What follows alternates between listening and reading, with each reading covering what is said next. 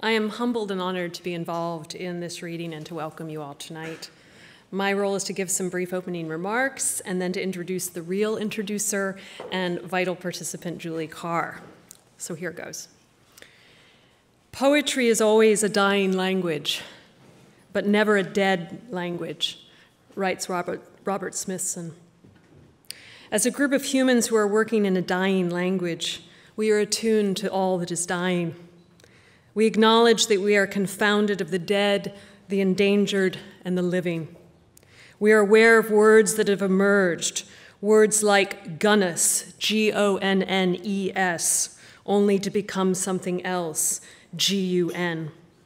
We know that the word gun means from its etymological origin war, and that to hold a gun means to hold war in one's hands. We know that poetry is older than guns. We know that this continent and its peoples pre-existed horses and guns, that they were brought here by empire, and that the superfluity of guns is perpetuated by involutions of empire and residual recalcitrant concepts of supremacy, and by different ideas of defense and constructs of the self, and of which selves warrant being defended, or the right to self-defense. Hand cannons, they were called when they first came to this continent. Do you have a hand cannon permit? Do you have a hand grenade license? When you hear it put that way, it awakens us to the weapon and the circumference of the wound, as does this line by Danez Smith Bullet is his whole life. His mother named him, and the bullet was on its way. We know, as Kevin Young writes, that the bullet is on its way not only into the bodies of our loved ones and our fellow citizens, but into our minds and legislations and vocabularies and intimate relations. Kevin Young writes, A finger is a gun, a wallet is a gun. We have heard the word trigger enter even our literary terminology. Think of Richard Hugo's best selling book, Triggering Town, in which he compares inspiration to a gun. He writes, the transformation that follows the trigger can, in the right hands, become poetry. Whose right hand is that? Whose right mind is that? I can still remember the first line of poetry I was ever taught in school, and you'll know what it is. My life had stood a loaded gun. And being taught that the gun was a metaphor for potential. Wouldn't it be more reasonable to say, as Brenda Hillman recently wrote, that our lives had, quote, stood a secret, little, hiddenly shameful, semi automatic firearm? She'll read that poem next week, actually, here. A sadness comes to the attention of our matter, and we do not dissuade ourselves from it. From it, we are not exempt the knowledge of men, women, and children harmed, of lives ended without impunity, of bodies maimed without impunity, otherwise known as American history, otherwise known as the six o'clock news. We are not good at math, writes Mojave American poet not Natalie Diaz. Can you blame us? We've had an American education. We are Americans and we are less than 1% of Americans. We do a better job of dying by police than we do existing. Gun violence, I don't have to tell you this, but I'm going to do it, uh, has been with us since the outset of our violation of these lands, has accompanied the rise of our current police state and military industrial complex, and has been the fundament of our foreign policy. As Vietnamese poet and human rights activist, whose name I'm going to terribly mispronounce, Vo Van Ai, does anyone know how to pronounce his name? We'll find out. As he has written of the violence America has wrought upon his country, if I could close up all the hatreds of the world into a single bullet, last bullet in the last gun, so that my breast could receive it then the lute of a thousand voices would sing. Tonight, we gather together with that lute and that last gun in mind, with the ballot and the bullet in mind. We come together with poets and philosophers who have integrated considerations about guns and violence and personhood and community so consummately and courageously into their practice and their purpose. Here to introduce our subject and tonight's authors is the instrumental organizer of this event, Julie Carr. Julie is the author of 10 books, including 100 Notes on Violence and Someone Shot My Book. Carr grew active in the gun laws debate in 2012 2013 when the University of Colorado, where she teaches, was required by the Supreme Court of Colorado to alter its decades old weapons ban and allow concealed carry on campus. I would go into it further, but I think I'll let Julie explain it to you. Please welcome the one and only Julie Carr.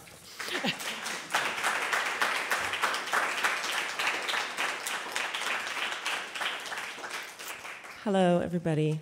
It's terrific to be here, and thank you, Christina, so much for, for drawing us all together and for caring as much as you do about poetry and the world. Um, so I thought I would just start us off with a few facts. And um, perhaps you know most of these facts, but I think they bear repeating. 48% uh, of all civilian gun ownership worldwide is in the US.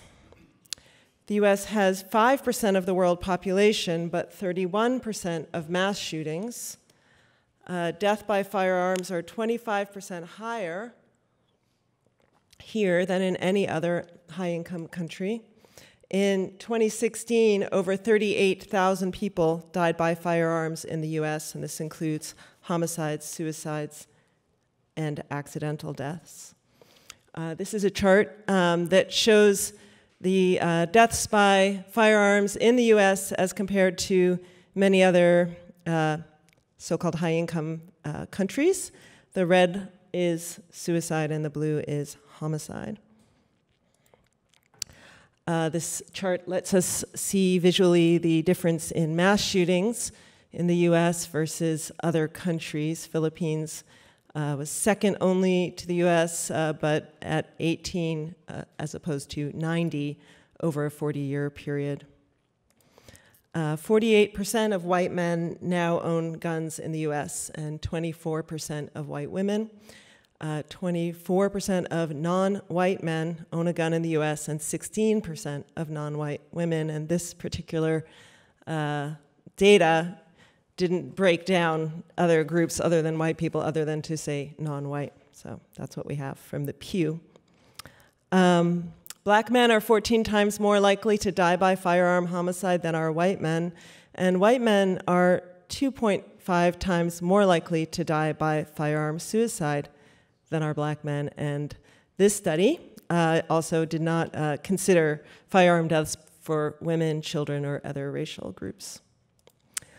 Um, so concealed carry laws is a particular darling of the NRA and something to just think about as we think about laws. Um, so all states in the US allow concealed carry permits. Um, uh, there are may issue states and shall issue states. May issue states there are just nine of, and these are states in which um, law enforcement can exercise discretion in terms of handing out permits but in shall issue states, permits must be granted if qualifications are met. Um, all other states, other than those nine, are shall issue states. And there are 10 state university systems that now allow concealed carry on campus, listed here. Um, and there are 11 states in which you can have a concealed carry weapon without a permit. Um, so two other things I'll just kind of finish this bit with. Um, there was a study done last year, um, published in the American Journal of Public Health, which found that states with shall issue laws had handgun deaths at a rate of 10, percent higher than states with may issue.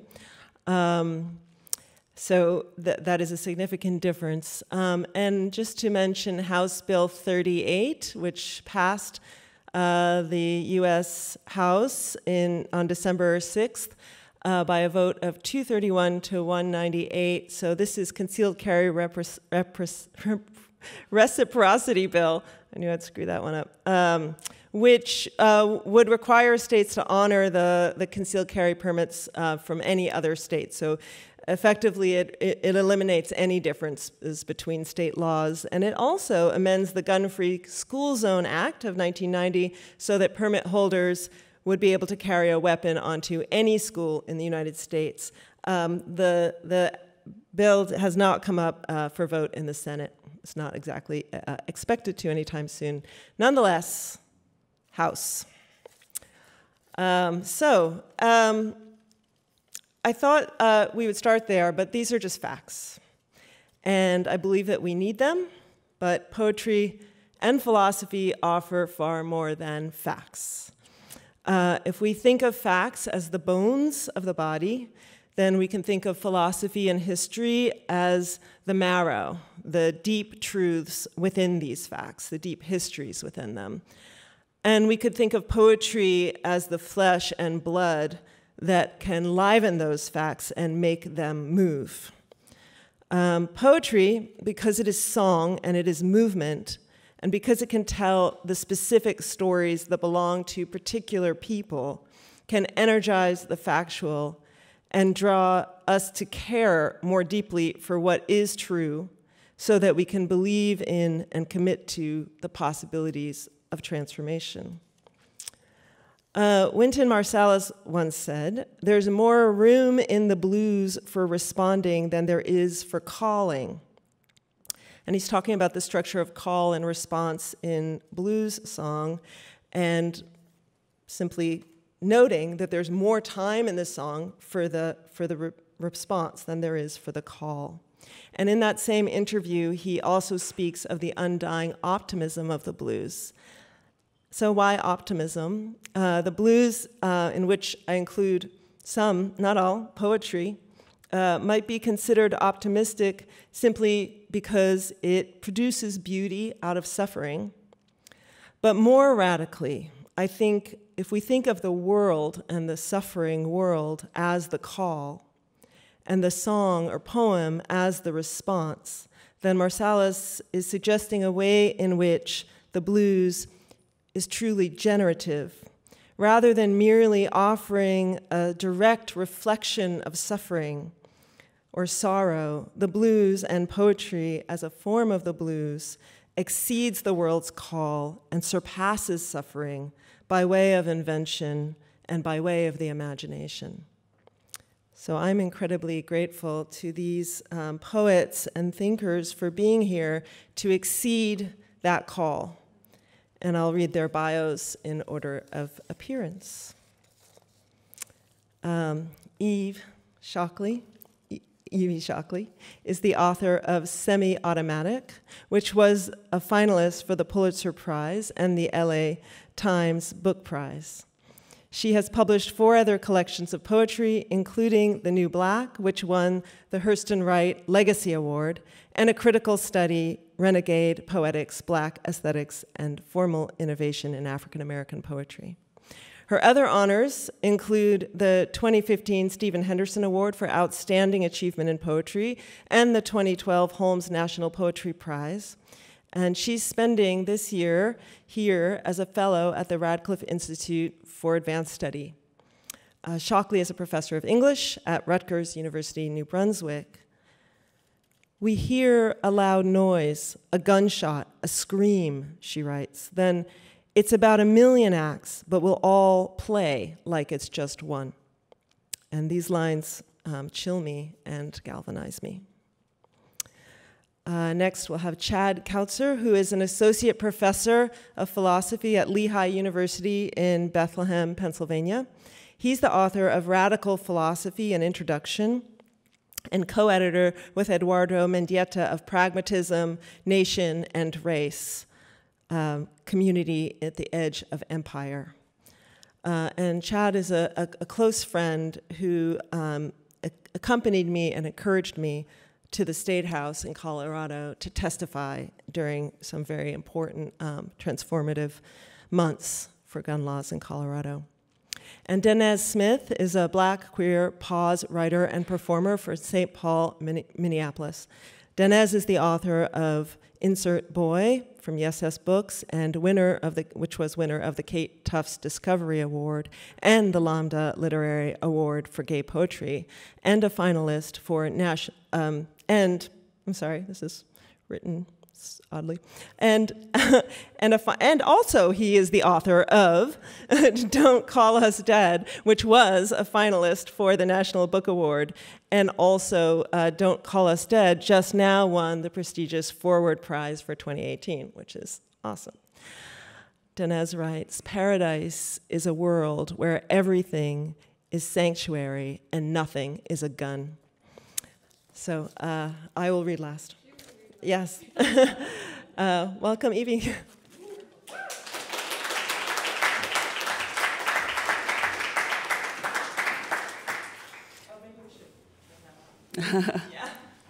They got it? Okay. Um, thank you all. Thank you, Julie, for um, putting together such an amazing um, sort of framework for us to read in. Um, thank you, Christina. So happy to be with Chad and Danez. Um, so I don't know what I want to add by way of introduction since the, the subject has been so well introduced, um, except to say um, that um, you know, these poems are going to, you know, come through my own filter of um, specific concerns um, and inter interact with um, these issues uh, in, in particular ways, in ways that are important to me. Um, but, it, but overall, my sense of it is that gun violence is related to all the violences. Um, and that when we're working on this problem, we're working on many problems at once. So, um, with that, I'm going to begin with a, uh, a, very short stanza that I think of in the book, um, Semi Automatic, uh, as an interlude. Stop, meet with me here, weapons at rest, on this stage of reciprocal dreaming. You imagine you hear my desperate breathing, and I, your eardrum, a small heart beating. Usually, I um, pace myself before going into this kind of subject, but this is what we're here for. So, um, I'm going to start with the poem that um, Julie actually quoted from. Um, it's one of three in the book called A One Act Play, and I'm going to read two of them. A One Act Play. Lights up on three people, unmoving. Not all of them are the same gender, none of them are touching. Each of them is looking at another. The moon is full, the stock market is down, the ball is rolling, all bets are off. We hear a loud noise, a gunshot, a scream, a burst of thunderous applause. It comes from off stage. On stage, all three hear the noise as a signal to act. The moment each begins to act, the lights go down. When they come back up, just seconds later, everything has changed. It has something to do with race, but it's debatable how much. It's something that somebody said, but it's not clear who, if anyone, heard. It's about a million acts, but we'll all play like it was just one. Each person has lines to give. Anyone who knows it can write the script. You all know it, right? Um, and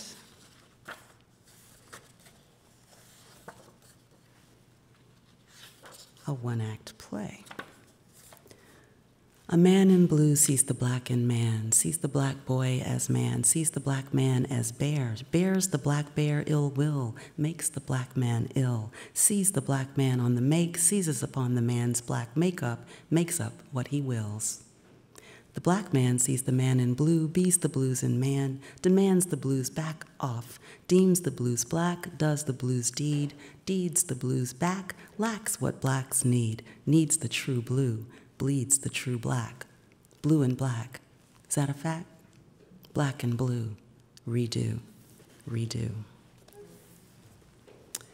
Um, one of the themes of this book is um, repetition and refrain. And uh, this next poem leans into that. Um, those of you who know your Wordsworth um, will recognize the phrase lyrical ballads, right?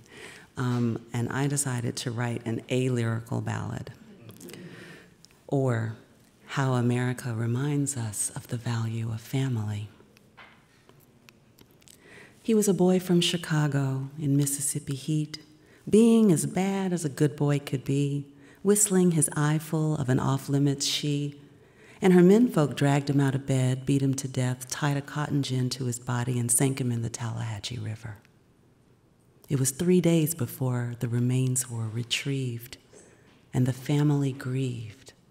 Oh, the black family grieved. She was a lively young woman, a Texas transplant, with a new job helping black college kids thrive, daring one day to assert her right to drive and for failing to give a signal, a cop slammed her head down, cheered for her epilepsy, and dragged her to a cell where she died in three days. They called it suicide, if that can be conceived. And the family grieved. Oh, the black family grieved. He was a Ghanaian immigrant, two years in New York, a hard-working man, religiously devout, who reached in a pocket to take his ID out when four officers, suspecting wrongly that he was armed, unloaded their 9mm semi automatic pistols into his body, 41 shots just to be safe, to learn that he wasn't the threat they'd believed. And the family grieved. Oh, the black family grieved. A fun loving teen having car trouble one night, still seeking help when her cell phone died knocked on a nearby door, but the man inside barely took a look at the black person on his porch before he shot her point blank through the closed screen door. In this way, his unfounded fears were relieved, and the family grieved. Oh, the black family grieved. He was a sweet toothed teen under Florida sun, just sipping iced tea, chatting on the phone but a local vigilante wouldn't leave him alone. And even after 911 instructed him to leave it for the police to handle, pulled a gun, started a fight, then legally, lethally, stood his ground. And yes, self defense was how this was perceived. And the family grieved. Oh, the black family grieved. She was a vibrant young woman hanging in the park, enjoying outdoors, chilling with her crew, making some noise as good times often do, when an off duty cop, mad that they refused to get quiet and worried that somebody's phone was a gun, shot from his car into the crowd. And the young woman's death was all he achieved. And the family grieved. Oh, the black family grieved. He was a black kid playing in a Cleveland park, not the first or last boy to have a toy gun, just goofing off, not pointing it at anyone. And the rookie cop, responding to a caller concerned that the kid might have a real weapon, arrived and in 11 seconds flat shot him dead. And the story goes on. The privileged are aggrieved, or their eyes are deceived and another family is bereaved. Oh, the black family, be grieved.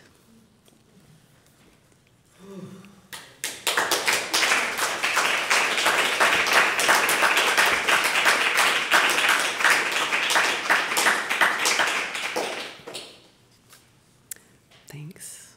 Um, I wanted to read one poem that that looked at um, uh, guns in the context of gang violence. Um, this is from an earlier book, The New Black. Um, and I don't know how many of you will remember Stanley Tookie Williams, um, founder of the Crips. Um, uh, he did um, murder some people, and that's not contested. But after being sentenced to the death, after being given the death sentence, um, spending decades in prison, um, actually began to write children's books and advocate for peace um, from, from the prison. And um, I wrote this poem just after his execution a sonnet for Stanley Tookie Williams. And there's an epigraph by Bob Marley. Won't you help to sing these songs of freedom? Because all I ever have, redemption songs. All month, this country has careened towards cold and winter's celebrations. What a star announced, a birth, and then a chance to fold a year away, pull a fresh one from a drawer. If not clean, well, unworn. In just a few months arrives the ice hot day of the dead come back to life. Time then to ask how new and re beginnings differ. Mary bled for the December miracle, as someone must. Did you imagine sacrifice as you called the crypts to life? Did they come, those young bloods, at the crackling of your voice, like Lazarus to Christ? Vigilant night on the road to San Quentin, candlelight. Um, I'm going to read two more poems. I Yes, I'm still within my my time. I'll try to be respectful of the time. Um, I was so glad that uh, Christina set up the relation of gun to war, um, because in a lot of conversations I see about gun violence, um, or not, maybe not a lot, but some of the conversations talk about that as opposed to war and terrorism and such. And um, I don't understand that distinction. Um, this is a, a poem in a form called a lipogram, which means that I was only allowed to use one vowel, and I chose A. This is called a dark scrawl. War can't amass a brass tack. War's all bad acts and lack, scandal and graft. Watch flags clash and tanks attack camps arms crack, rat a tat tat, and band calm. Cabals plan vast land grabs and trash faraway clans' shacks, pads, plants, halls, and farms. War's fans track maps that warp and adapt as rash hands grasp at lands that attract. Rag clad lad, lads and gals gnaw small snacks catch as catch can. War's gray days last and last, and as man slays man and clans fall apart, can wax halfway banal. Ask, what adder can mask war's stank past? What fragrant balm allay all qualms and angst war spawns? Alas, sad mama's ball, what wan dawn shall mark war's last gasp? What art, pray, shall patch tracks war ransacks? Mass and spark lads and gals war raw shards and call glad days back. And I'd like to end with a poem um, that's newer than the, the most recent book um, what to say. I wrote it uh, this, no, a, a, year ago now. And um, it's, uh, it's dedicated to the, the two, 2,000 plus um, who were held in the Site Mémorial du, du Camp des Milles, um, a detention center and ultimately deportation center uh, in um, the south of France. World War II era, right? Les Milles. There is no poem unless I, we, can find the courage to speak. In the middle of a vacation in the south of France, a chance to visit a World War II detention center arises dusty and bleak, just outside Aix-en-Provence, just past the scent of lavender in an ancient heat. The first thing you see and the last thing you visit is a boxcar. You know what it means. It takes the same toll on the breath, the pulse, as the rusted shackles displayed in another damned museum. There are histories of torture preserved all around us, formally, officially, with placards and institutional funding, casually, quietly, unavoidably, in the quality of a glance, the poverty of an existence, the demographics of a mall, a church, a prison. In a former tile factory, we learn again how anything can be misused, how anyone can be abused. A kiln is not a dormitory until it is. Here, there, slept people who were too Jewish to be German, too German to be French, too despised and feared to be defended, even by those who feared they, we, might soon be despised. If I now say Palestine, have I forgotten Auschwitz? If I say settlements, have I now forgotten camps? If I don't say Palestine, have I forgotten Elmina, Selma, Cape Town, Haiti? Must every place name on earth be a shorthand for violence on a map of grief?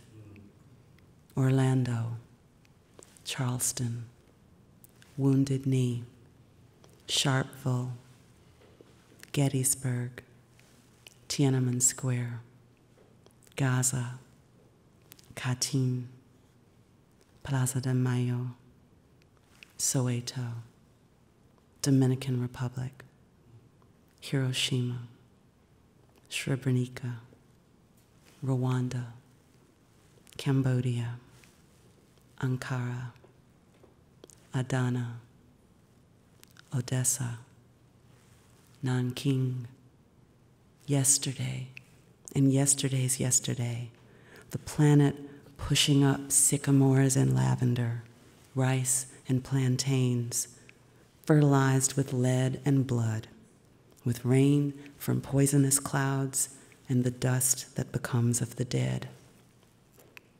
Adam, whose name means clay, was not baked in a kiln.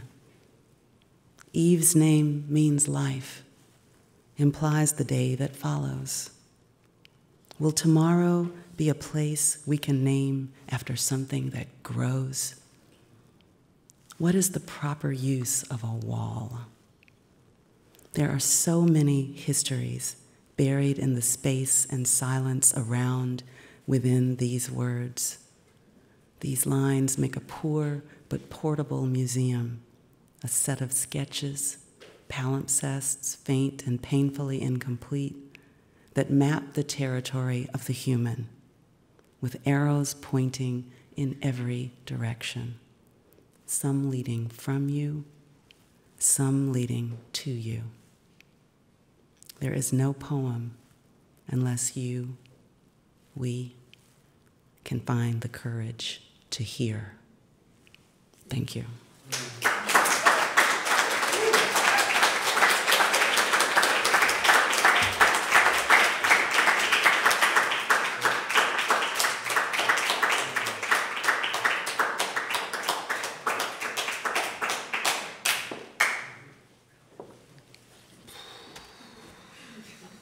It's ridiculous.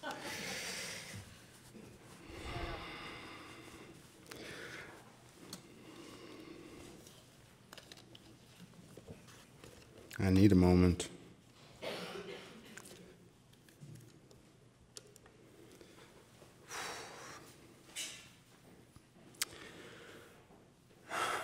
Thank you, Evie.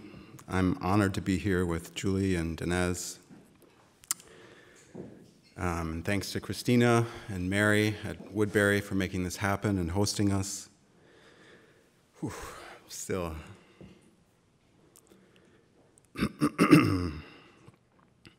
My presentation tonight is entitled Bullet Head or the Birth of a Tactical Gun Culture.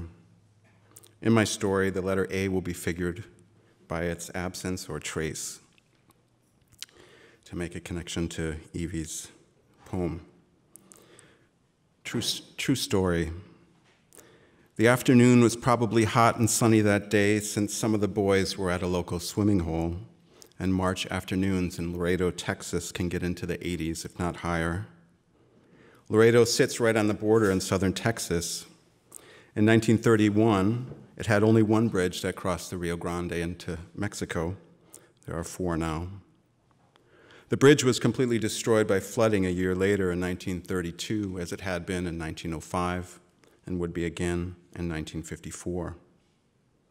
According to U.S. Customs and Border Protection, this area is referred to as the Laredo Sector, and it encompasses 110,000 square miles, 116 counties, and covers Texas, Oklahoma, and Arkansas. Harlan's father, Horace, was working as a Border Patrol agent that day in 1931, probably on duty at the bridge, when his son Harlan came home from school and his mother told him about the Mexican boys that had been hanging around that day. According to court documents, the Carter family car had been stolen three weeks earlier, and Harlan's mother was suspicious of the boys she saw that day. At the time, over 90% of the residents in Laredo were Mexican or Mexican American.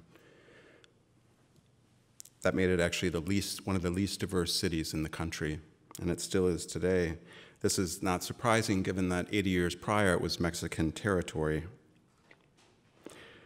Horace Carter was among the first cohort of 450 U.S. Border Patrol agents in 1924 and was transferred to Laredo after a purge of the Mexican American officers there in 1927. The purge was the result of an inspection by the chief of U.S. Border Patrol, Clifford Perkins. Perkins had distrusted the officers in Laredo. The only Anglo on the police force was the chief himself, he wrote in a report. To solve this problem, he waged what he called a full scale house cleaning by firing or charging half of the officers, officers at the station with crimes. He then transferred Anglo officers from other towns to fill those positions, which brought the Carter family to Laredo. Harlan had joined the NRA in 1930 when he was just 16. His father, Horace, had instilled in him a love of shooting from a young age, and he would go on to win dozens of national uh, marksmanship awards. The 17 year old was therefore already very familiar with firearms when he picked up a shotgun that March afternoon in 1931 and headed out the door in search of the Mexicans that, that caught his mother's eye. In court documents, Harlan testified that he found the boys returning from a swim and shotgun in hand, ordered them to come with him for questioning. The oldest among them, 15 year old Ramon Casiano, was the first to respond Hell no, we will not go to your house. According to 12 year old 12 year old Salvador Pena, who was there at the time, Ramon added, And you can't make us. And he pulled out a knife. Harlan pointed his shotgun at Ramon's chest, which Ramon then brushed aside with a laugh and took a step back. Outraged, Harlan responded, You don't think I'd use it? Before Ramon had a chance to say a word, Harlan shot directly into his chest, killing the 15 year old boy on the spot. Harlan was indicted, convicted of murder, and sentenced to no less than three years in jail. However, the Texas Court of Criminal Appeals overturned the conviction in December of that year because the, the presiding judge was said to have not properly instructed the jury on the law of self defense. The charges were dismissed nearly two years later in January of 1933 because, according to the state's attorney, quote, several of the material witnesses, including that 12 year old boy, have been discredited having been convicted of infamous crimes. So, just as the Mexican American Border Patrol agents were purged to make room for their Anglo counterparts, so too were these Mexican American boys criminalized to undermine their credibility in the court of law. Later that year, in 1933, Harlan enrolled at the University of Texas under a slightly different name The second A in Harlan was changed to an O in order to bury his connection to Ramon Casiano's murder. It was this Harlan Carter who would become the future head of the U.S. Border Patrol, commander of the notorious Operation Wetback, and the most consequential leader of the NRA in its history, serving as its president and then, more importantly, executive vice president. That's where the real power lies. When a New York Times reporter confronted Carter with the truth 50 years later and a few days before Carter was up for reelection as vice president, he emphatically denied it. It was a case of mistaken identity, he said, noting the slight difference in the spelling of Harlan. He publicly conceded the truth a few days later after his election to another four year term in 1981.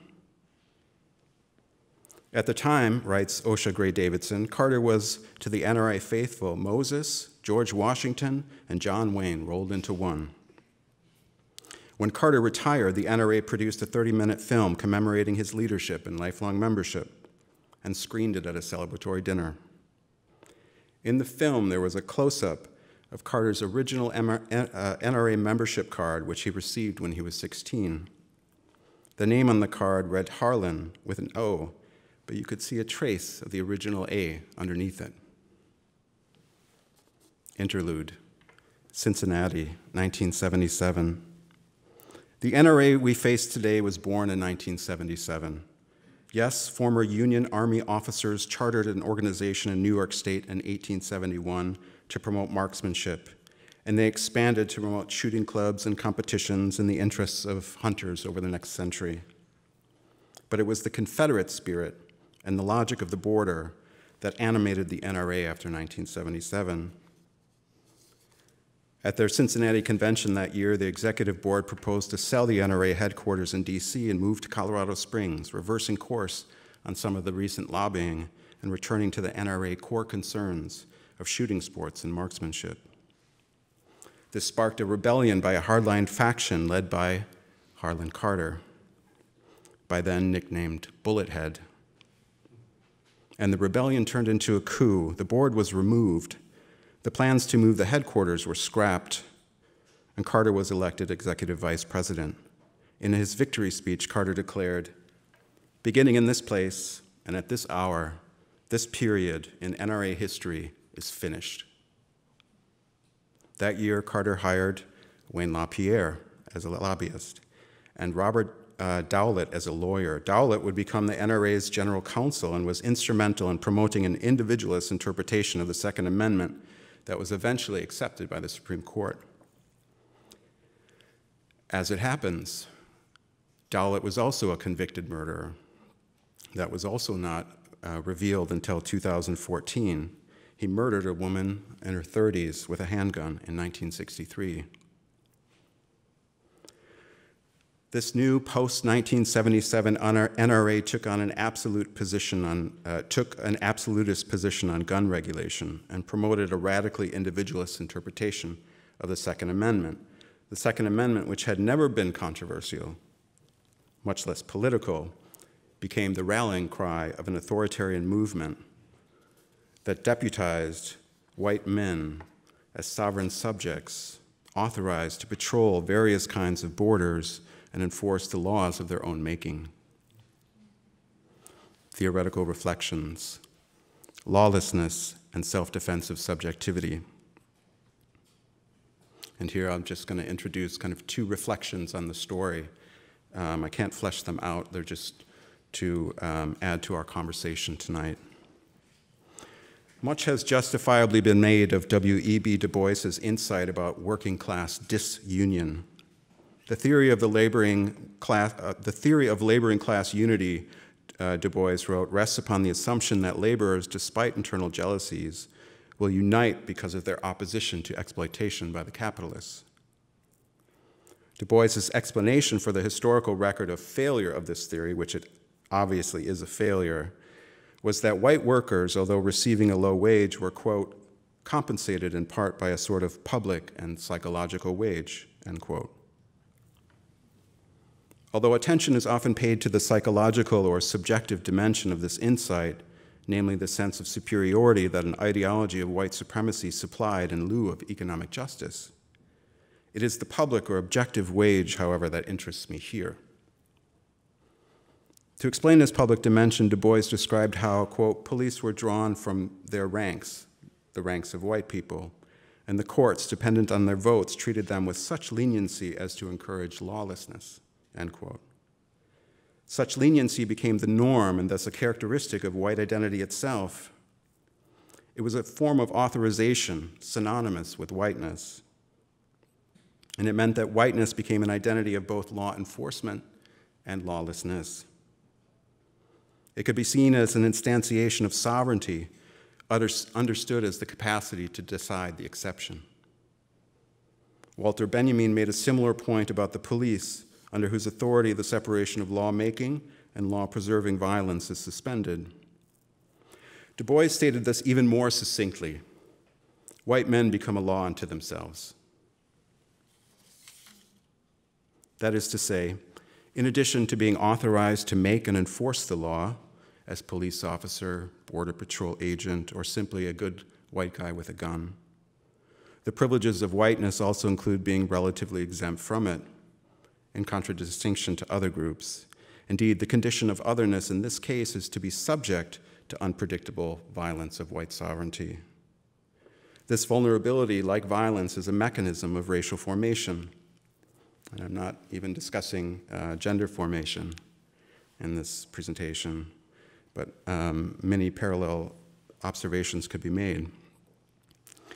We find these mechanisms at work in the story of Harlan Carter, a 17 year old who, was, who already assumed he was authorized to take others into his custody at gunpoint, who would commit murder because the law, that law enforcement authority was met with ridicule and resistance by Ra, uh, Ramon Casiano a judicial system that showed leniency and thus also reproduced the structural vulnerability of Casiano, and the criminalization of the Mexican American border agents and the witnesses to Harlan Carter's crime. This revoked their authority to enforce the law or undermined their epistemic authority to determine what is and is not lawful. This is not a new phenomenon, of course. The second treatise of government, so influential in American thought uh, by John Locke, authorized colonists in a state of nature to act as agents of law enforcement who could punish, dispossess, enslave, or even kill indigenous others thought to violate natural law. And the US never conformed to Max Weber's idea of the state having a monopoly on violence Settler colonialism and slavery, slavery devolved the power of sovereignty to white property owners for centuries. In practice, and from its inception, popular sovereignty has meant the state's production of spaces of rule for one group to dominate another, directly through coercion and extralegal violence, or indirectly through dependencies produced by property right. My point then is not that this is new but rather that we should locate the NRA and the social movement it is leading within this tradition. It is a reactionary movement attempting and succeeding at transforming cultural norms, institutional practices, and the legal order itself in order to reproduce the conditions in which this pernicious form of social identity can flourish. An individualist interpretation of the Second Amendment has been central to this effort because it formally grants some sovereign powers to the individual, deputizing them as an agent of violence wherever they find themselves. In many states, this has achieved even greater formalization in the stand your ground doctrines. This brings me to my second and final theoretical reflection, which concerns the absolutist and authoritarian notion of freedom at the center of this sovereign subject, this good guy with a gun. Judith Butler insightfully analyzes this subject in terms of injurability. The mark of sovereignty is to be the one not impinged upon by others, the one who denies their own constitutive injurability by relocating the capacity to be violated elsewhere. Another hallmark of this sovereign subject is the disavowal of the social conditions of its own freedom. Freedom is associated with abstract natural right and radical independence. If the subject were not completely independent, it would be permeable and vulnerable. Today's sovereign subject is fundamentally self defensive, perpetually on guard against not just violence and thus uh, injurability, but also any form of dependence whatsoever. George Yancy speaks of the illusory construction of the white subject as a self contained substance. For this kind of subject, freedom can be purchased only at the price of the freedom or sovereignty of another. But as Butler indicated, this is an impossible condition, which is why it is stuck in a position of permanent vigilance and crisis. Like Harlan Carter's name, our structural vulnerability and mutual dependence can be denied, but it cannot be erased. Thank you.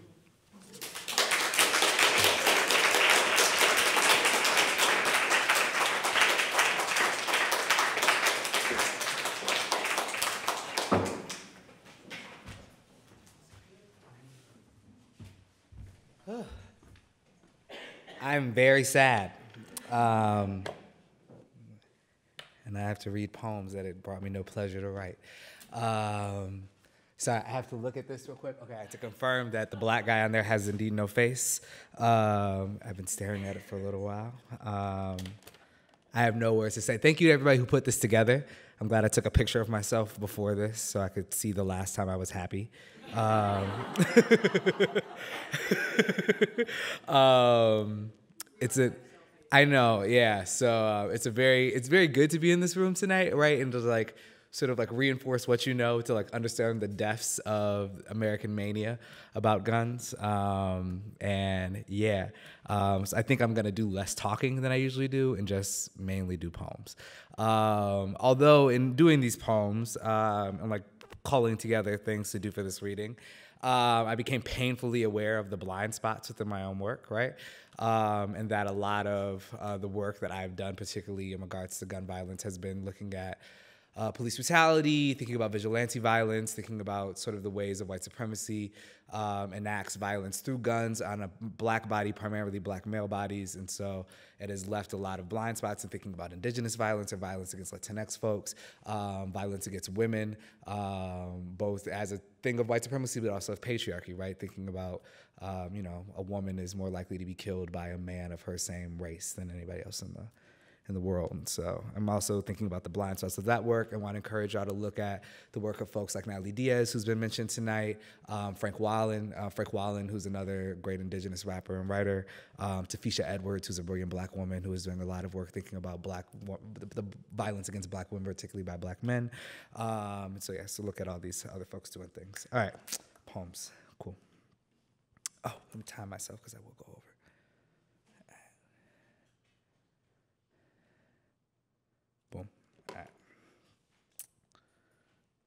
Uh, okay, I'm gonna start here.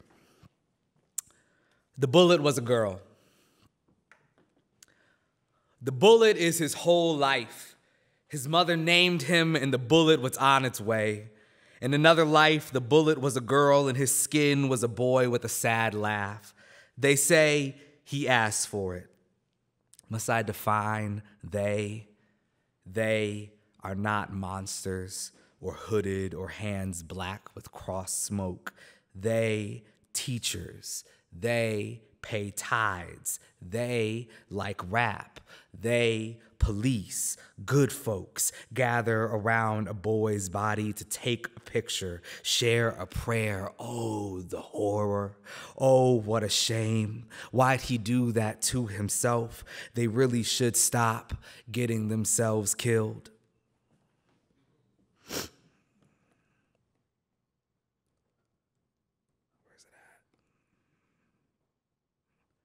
No, where's the poem? Sorry. It should be there. There's where I put it. Okay. Uh, fall poem. The leaves have done their annual death shimmy. Now the street light with no soft green curtain cuts a silver blade across my bed and my body. I didn't want to start with leaves, even though I love how the trees turn the color of aunts and soul train line to the ground each October. No one wants to hear a poem about fall. Much prefer the fallen body, something easy to mourn, body cut out of the light, body lit up with bullets. See how easy it is to bring up bullets. Is it possible to ban guns, even in this poem?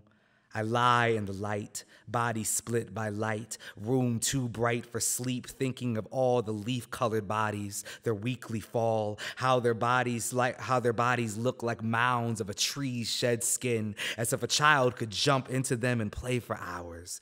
There I go, talking about our dead. And if you don't think they are your dead, then I have run from your hands.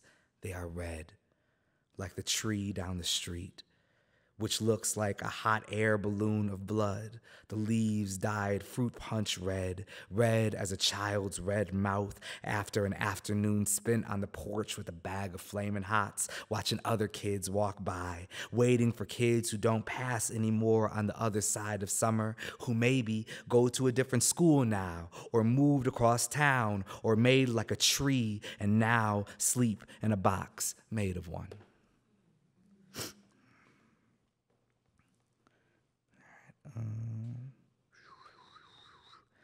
So I, recently like rearranged my manuscript, and now I don't know where any of the poems are. so I'm trying to find one. Okay, that's not it. That's not it. No, it should come before then. I know I didn't cut that poem. Boom. All right, cool. Uh, say it with your whole black mouth. Say it with your whole black mouth. I am innocent. And if you are not innocent, say this I am worthy of forgiveness, of breath after breath. I tell you this I let blue eyes dress me in guilt. Walked around, walked around stores convinced the very skin of my palm was stolen. And what good has that brought me? Days filled, flinching, thinking the sirens were reaching for me. And when the sirens were for me, did I not make peace with God? So many white people are alive because we know how to control ourselves. How many times have we died on a whim, wielded like gallows in their sun-shy hands? Here, standing in my own body, I say, next time they murder us for the crime of their imaginations, I don't know what I'll do. I did not come to preach of peace, for that is not the hunted's duty.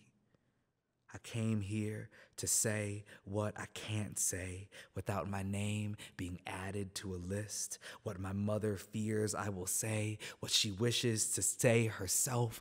I came here to say,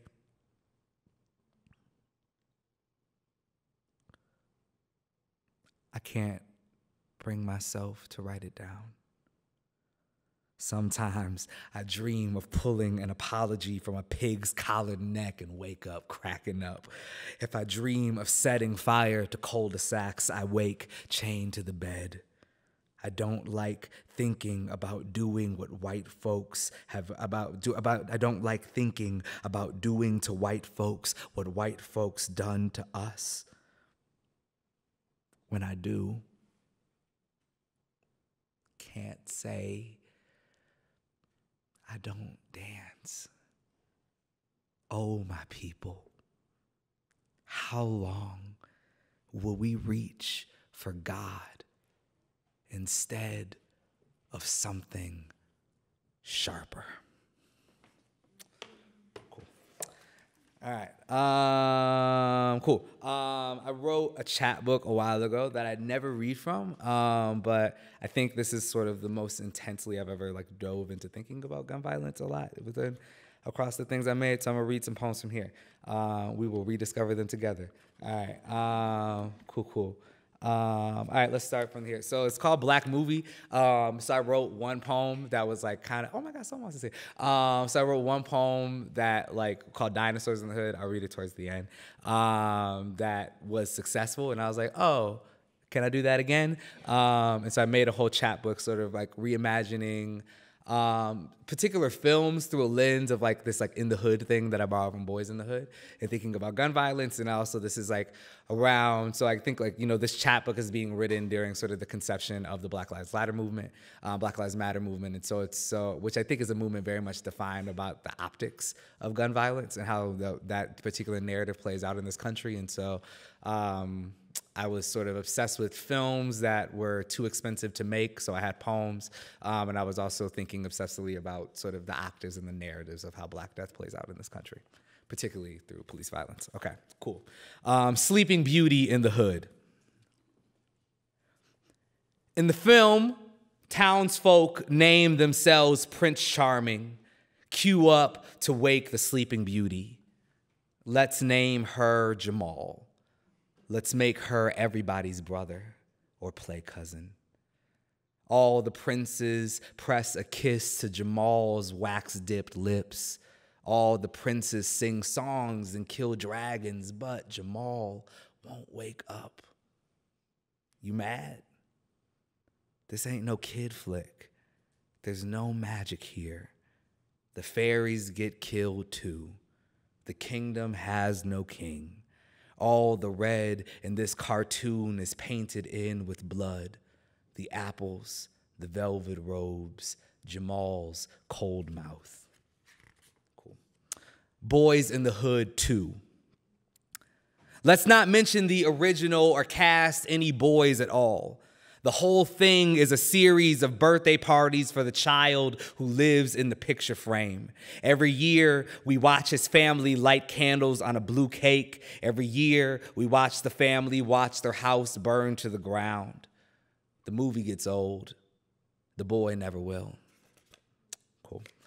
Um, a history of violence in the hood could be a documentary or could be somebody's art school thesis, but basically, we make a dope ass trailer with a hundred black children smiling into the camera. And the last shot is the wide mouth of a pistol we cut to the sound of a, gu- of a gun's hot gray bite. And the preview just keeps repeating over and over. And the preview just keeps repeating over and over. And the preview just keeps repeating over and over. And the preview just keeps repeating over and over. And the preview just keeps repeating over and over. And the preview just keeps repeating over and over, and the preview just keeps repeating over and over, and the preview just keeps repeating over and over and over and over and over and over and over and over and over and over and over. And by the end, I'm sure some folks will want their money back, but I'm sure some will just die for it. They'll just die. Mm, that was too long. Uh, let's see.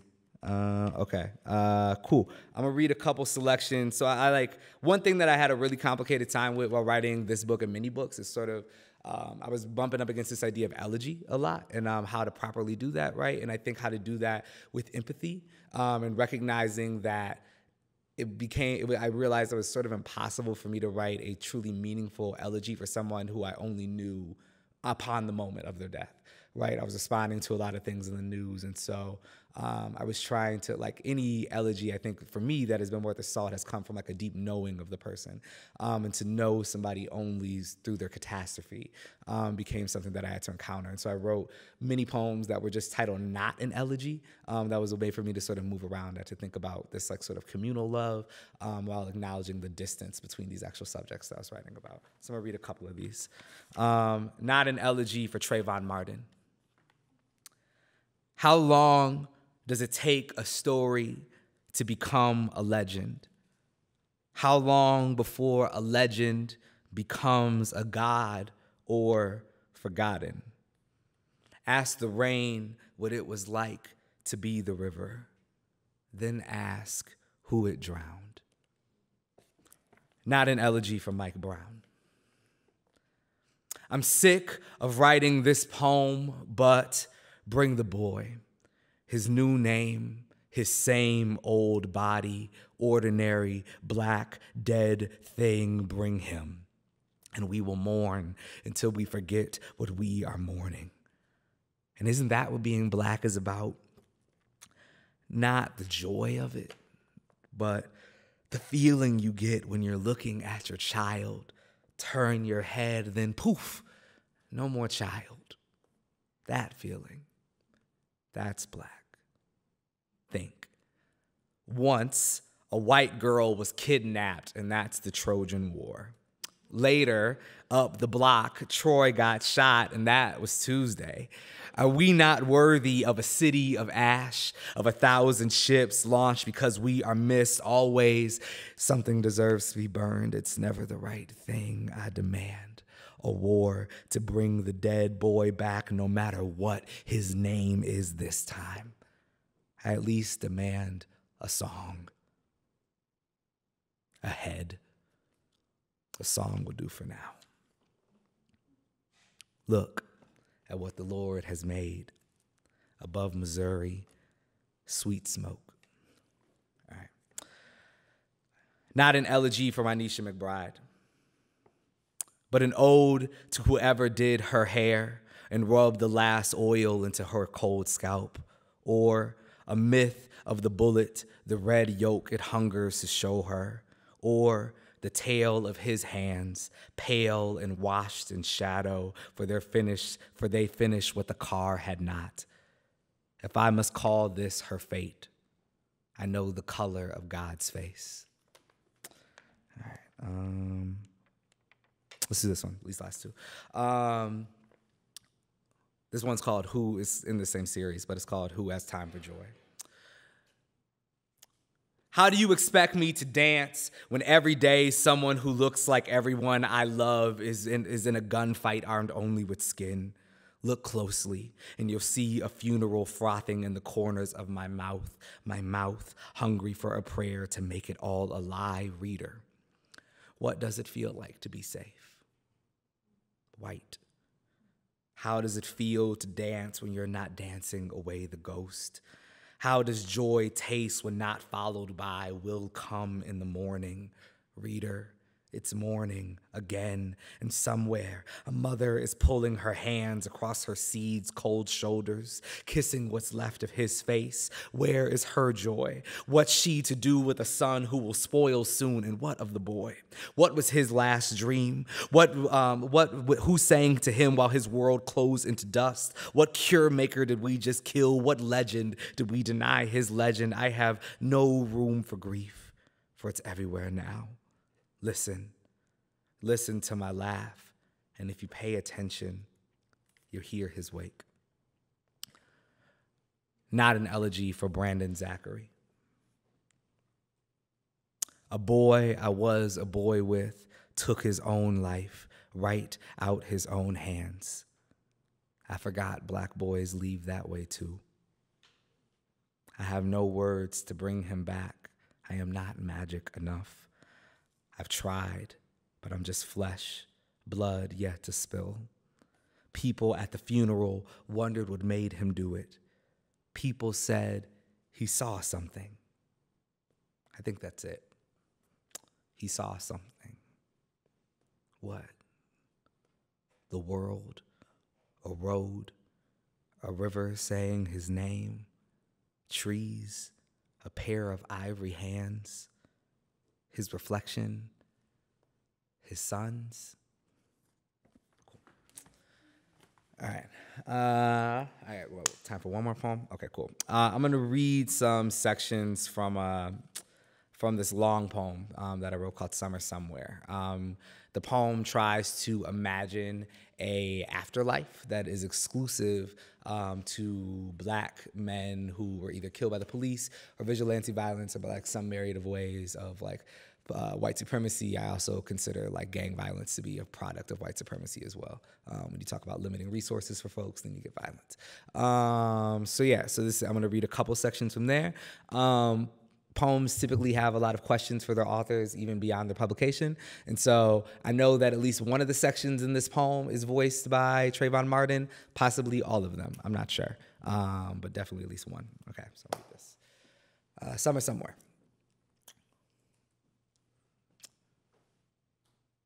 Somewhere, a sun.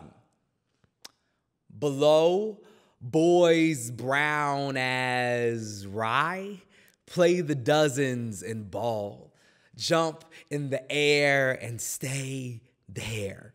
Boys become new moons, gum dark on all sides, beg bruised blue water to fly, at least tide, at least spit back a father or two. I won't get started.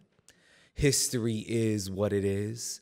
It knows what it did bad dog, bad blood, bad day to be a boy, color of the July well spent. But here, not heaven, not earth. We can't recall our white shirts turned a ruby gown. Here, there's no language for officer or law, no color to call white. If snow fell, it'd fall black. Please don't call us dead, call us alive someplace better. We say our own names when we pray.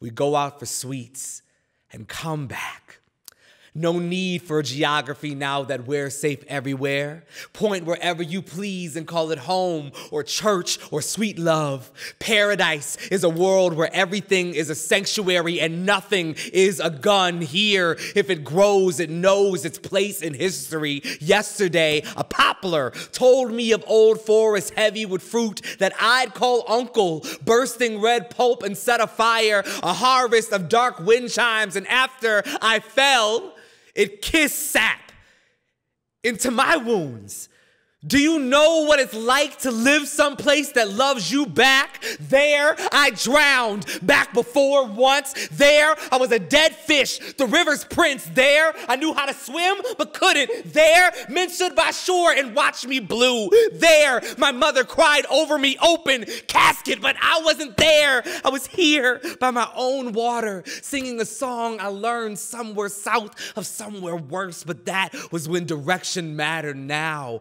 every everywhere I am is the center of everything. I must be the Lord of something. What was I before?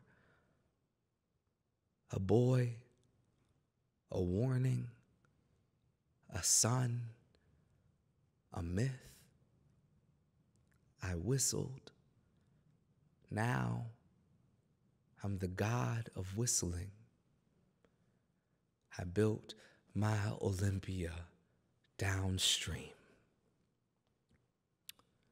And you're not welcome here.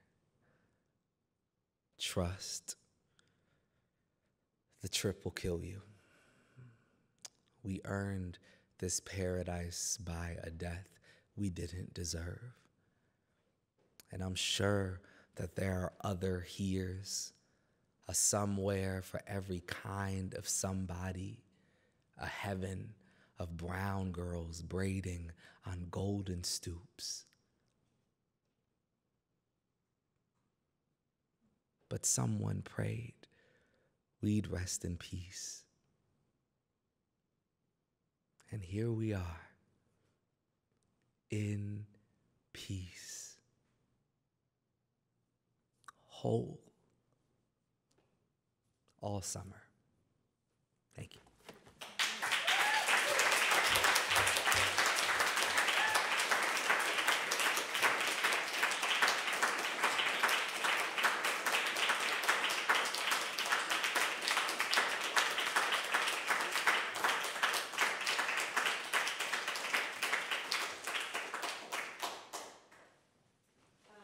So I'm going to start by just showing you something. Um, so um, I've been making T-shirts as a way to deal, and uh, there are some out there, and you can have one. They're free, um, but I would I would ask that you buy a book. It doesn't have to be mine. just buy a book and get a T-shirt. There's only a few. Um, this has been amazing. Thank you so much. I feel incredibly honored to be here with you three and to have heard that work. Um, I barely need to read, but I will anyway, but not for long.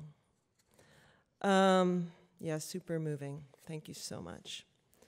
Um, I, I'll, I, so I've written this book. It's called Real Life and Installation, and the way I think about it is that it's trying to work between two poles. And one of those poles is the weight of history and fact and news. And the other pole would be the lightness and possibility of the imagination. Um, and so the poems that I think of as reaching towards that place of possibility are mostly 14 line poems. So they're like sonnets, but they're not really sonnets. Um, and so some of those, all those 14 line poems, the lines are numbered, but I'm not always going to read the numbers. So we'll start there. A 14 line poem for independent study. One burning lyric stayed sailless. Our techniques so feline, it takes its time, like a trail of ants across a hall. Nothing's not born. A primate, a psyche, an umbrage, a rag. Say God in the beaten airs, birds will eventually be.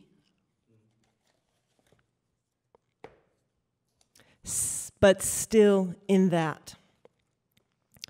Sadness lingers, says Charles Blow, after the Martin case has closed.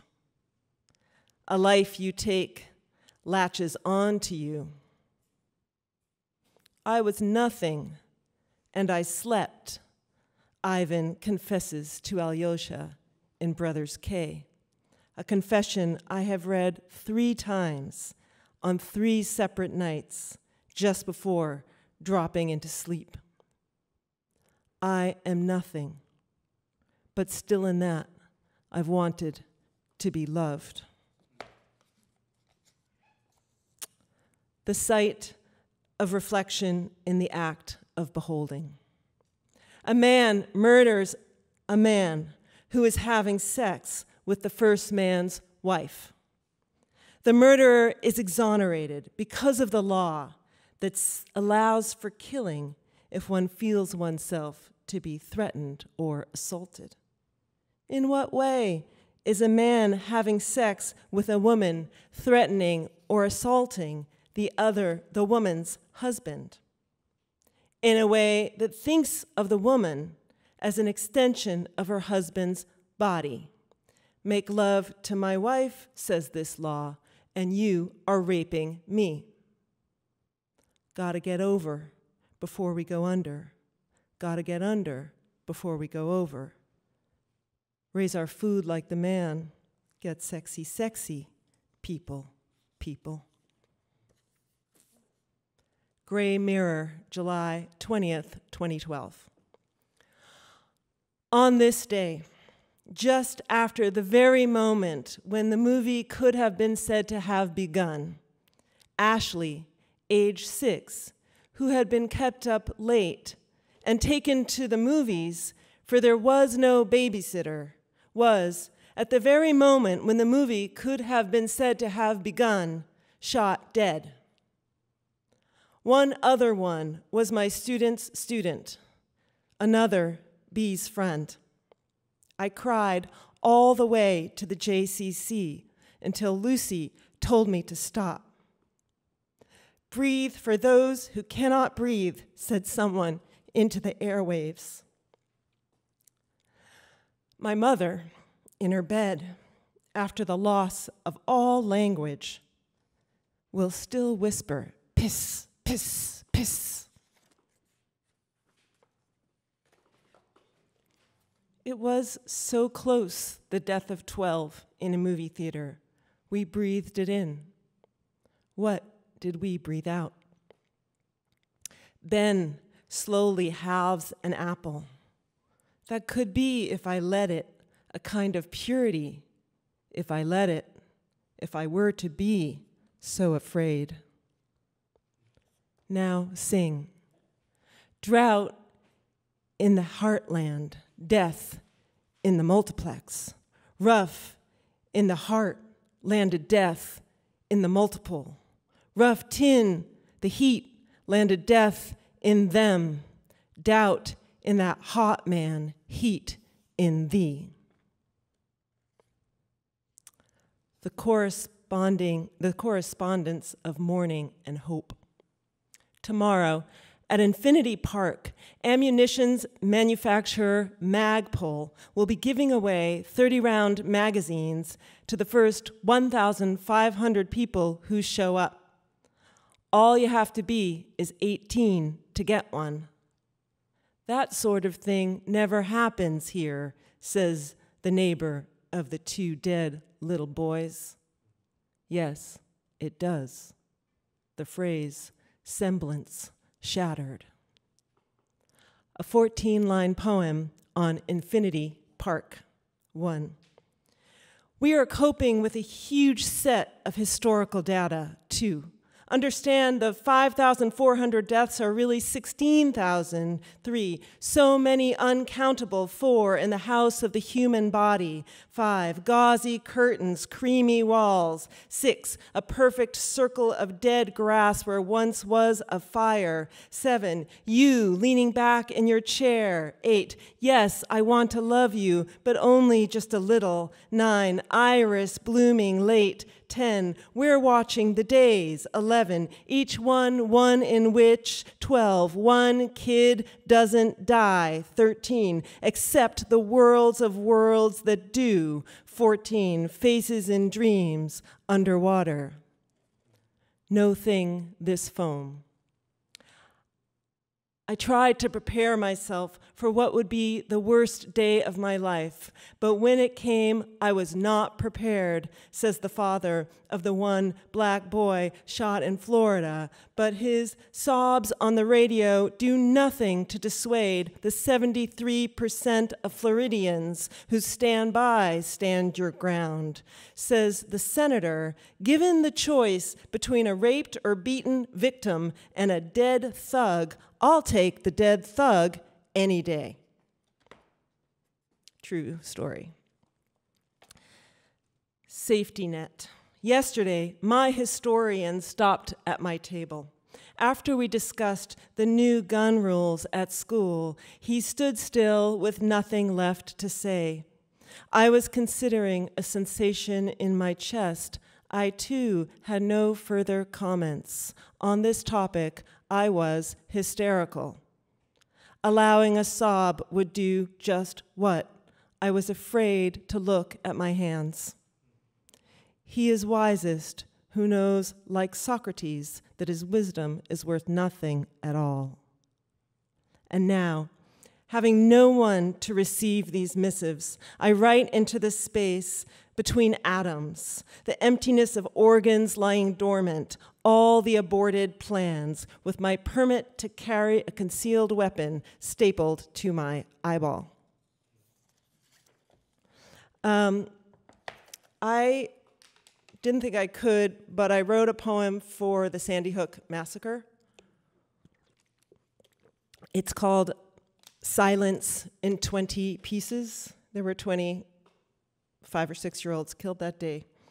Um, I'm just going to read a few of them, of the 20 pieces. I also named it that because I was trying to speak to my 10 year old about that massacre right after it happened, and she said, Don't talk about that. That is only silence. One, the boy handed me my change in the parking lot. It was precisely nine hours after the killing he saw my face. I hope you have a good rest of your day. No hope for the first part.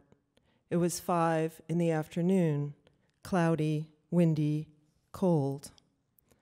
Four, 20 dead, 20 youngest ones. Is it unspeakable?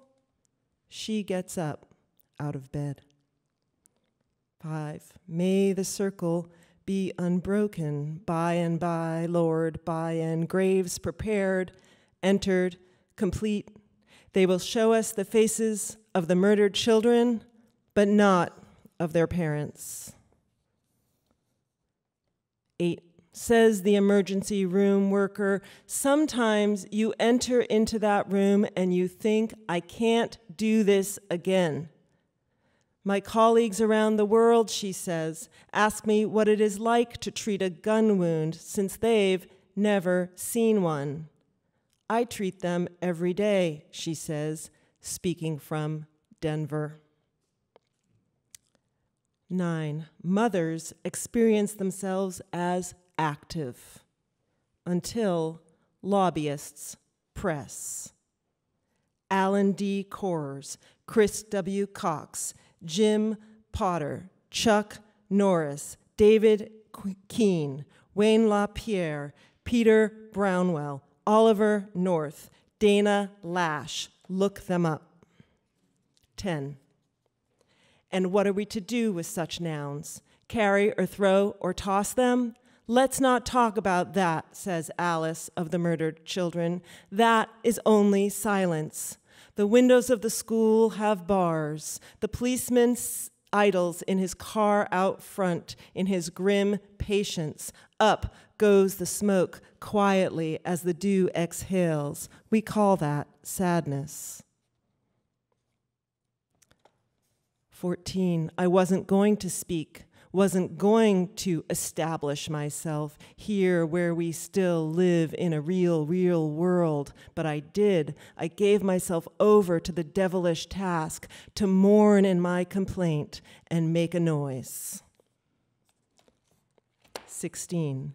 One month after those children are murdered, while others are falling all over the land, gun and ammunition sales soar and keep on soaring. Gun dealers say, I've never seen such demand. If I had a thousand AR 15s, I could sell them in a week. When I close, they beat on the glass to be let in. The phrase, pervasive love. 17 they were wearing gray, moving slowly. They were opening themselves again. 18. I said the word wound in our little group of five, and the men's eyes went elsewhere, out the window. After that, their eyes did not come back. Out the window, the sky was darkening, the temperature dropping, wind.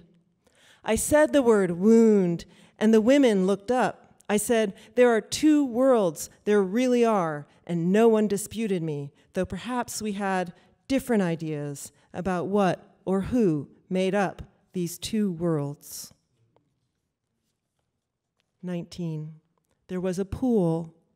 We drained it to reveal the creatures at the bottom. Massive eels slid out of our grip. This is your defect no one else's, it says. 20. It was not death, not more death I was after, though sometimes I imagine the blade against my wrist as I fall into sleep. I was concerned with the gleam of icicles hanging from the eave, with a smudge of blood on the underside of my girl's chin, with the pair of underpants I found stuck between the bottom of the bed and the mattress. Your jaw screwed into that mattress, your face, your back so hardly ever touched, so much like snow falling in a whirl- whirlwind. I was looking for a tighter press of bodies and the sorrowful laughter of those who discern the world shifting away. Uh, thank you so much. This has been amazing. I'm going to read the famous two more poems, um, and they are uh, poems for healing. So they have to, I think they have to be read. They're short, and they're both 14 liners. Another 14 line poem on healing. They abused the powdery line and collapsed the phantom scaffolding on which we thought we stood. Where will you go now, you in your red dress? Your benign limbs, at once blessed and beautiful, naked as a word. You have done nothing wrong, and you are not condemned. The body's erotic intelligence is all that there is and is given. And finally, a 14 line poem on resurrection. When will I see you again? At the edge of the window, a crimson streak of sun. I tend my child with daily eyes. Say everything simply, or build me a city of only terms I have to look up to see the way the moon fills so erotically a Lucy. But I didn't find you in June and I didn't find you in July. Pink stones, shiny stones, American, red dust, blood dust rising. Thank you so much.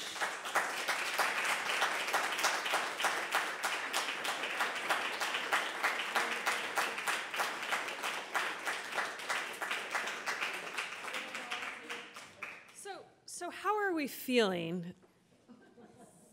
Yeah, okay. Um, would you feel better if you could just commune casually together, and or would you feel better if you had a moment to do a kind of call and response with the poets and thinkers up here?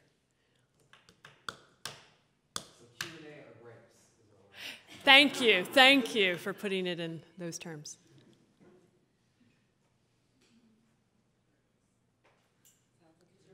Oh. Um, what do you think? What would you do? You do you feel you have completed your? I'm open for questions if people have them, but if not, it's fine. Yeah. Same, same boat.